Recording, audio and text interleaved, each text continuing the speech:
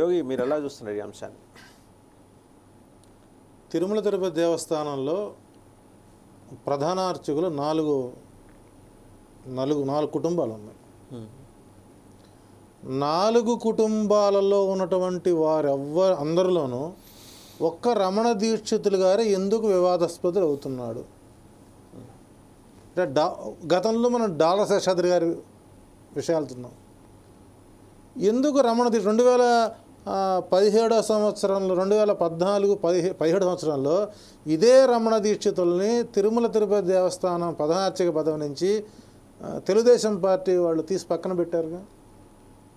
అంటే మొట్టమొదట ఆయనకి వివాదాస్పదం అనేటువంటిది ఆయన వంశ హక్కులా తయారైంది. రెండవది ఇక్కడ ఆయన తప్పు చేశాడా లేదనడానికి ఫుల్ వీడియో నేను చూశాను. ఫుల్ వీడియో నా దగ్గర ఉంది. సోకాళ్ళు ఏ కమ్యూనిటీ మీడియాలో వచ్చిందో ఫుల్ వీడియో పంపించారు. చూశాను. అక్కడ నిస్సిగ్గుగా ఆ వాయిస్ నాది కాదు. ఒక రకంగా చెప్పాలంటే ఇందాక పృథు పృథ్వీ గారికి ఈయనకి పోల్చారు మీరు. పృథ్వీ ఆ వాయిస్ నాది కాదని ఎక్కడా చెప్పలేదు.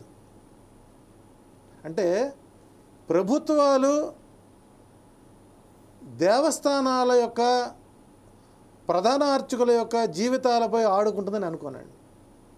రెండోది వాళ్ళ కొన్ని బయలా ఉంది. ప్రధాన నీ ఆలయ అర్చక కార్యక్రమాలు పూర్తయిన తర్వాత మీకు కేటాయించినటువంటి స్థానంలో మీరు ఉండాలి ఈయనకి గెస్ట్ హౌస్లతో ఏం పనండి రమణ శిక్షితులకి గెస్ట్ హౌస్ల దగ్గరికి వెళ్ళి ఆశీర్వచనాలు చేయమని నీకు ఎక్కడ టీటీడీ క్లాసులు ఎక్కడ రాసి ఉందా? ఆయన ఆశీర్వచనానికి వెళ్ళారని మీ దగ్గర ఆధారం ఉందా? హండ్రెడ్ పర్సెంట్ ఉన్నాయి కాబట్టి కదా టీటీడీ తెలుగుదేశం పార్టీ వాళ్ళు తీసి పక్కన పెట్టారు.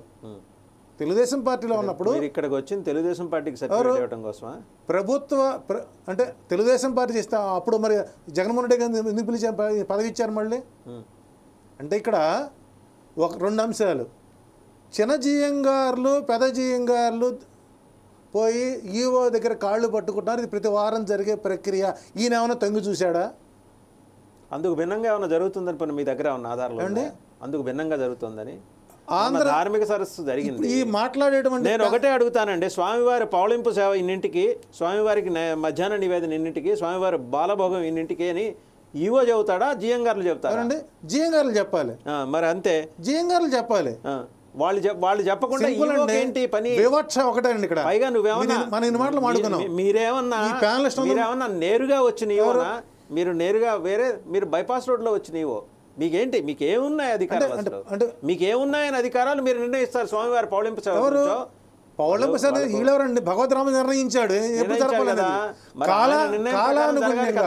కాలానుగుణ్యంగా కాలానుగుణ్యంగా క్రమక్రమేణా పబ్లిక్ పెరగడం సమయాభావం లేకపోవడం. నిజంగా కొన్ని ఇబ్బందులు ఉన్నాయి అక్కడ. లేవని అంటలేదండి అట్లాగని ప్రభుత్వాన్ని టార్గెట్ చేయకూడదు.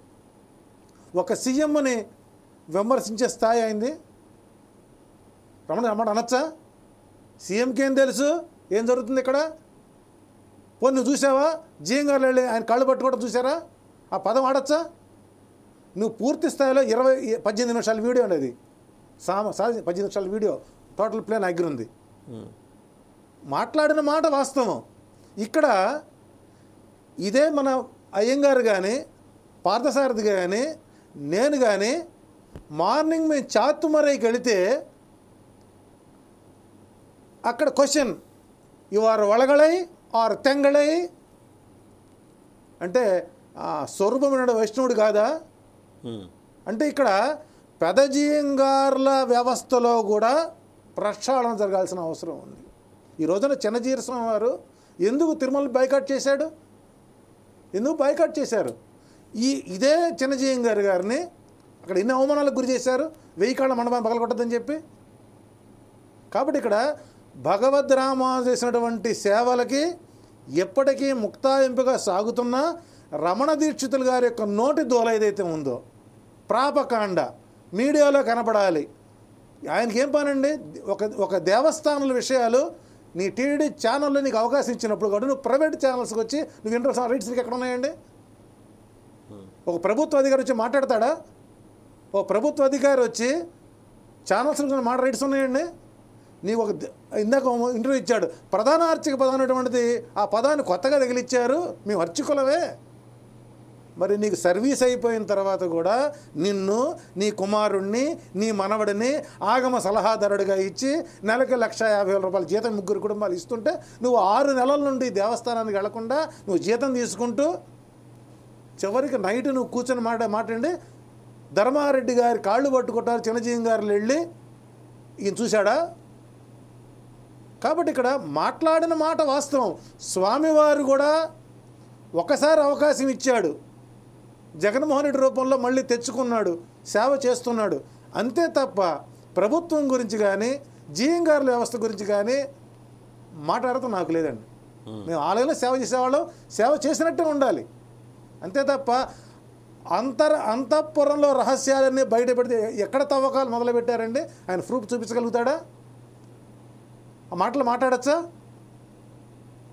ఇక్కడ హిందూయిజం మీద దాడి చేస్తున్న వాళ్ళని ఎమ్మెల్యేలుగాను మాయకులు చేస్తున్నటువంటి వ్యవస్థలో మనం ఉన్నాం. ఏ మిగిలిన ముగ్గురు కుటుంబాలు ఎందుకు మాట్లాడతలేదు? ఇప్పుడు ఎందుకు ఆ- వేణుగోపాల్ శ్రీ గురించి మాట్లాడారు? ఇప్పుడు నీకు మద్దతు ఇస్తూ వచ్చారు వాళ్ళు? అంటే వాళ్ళని విమర్శిస్తారా?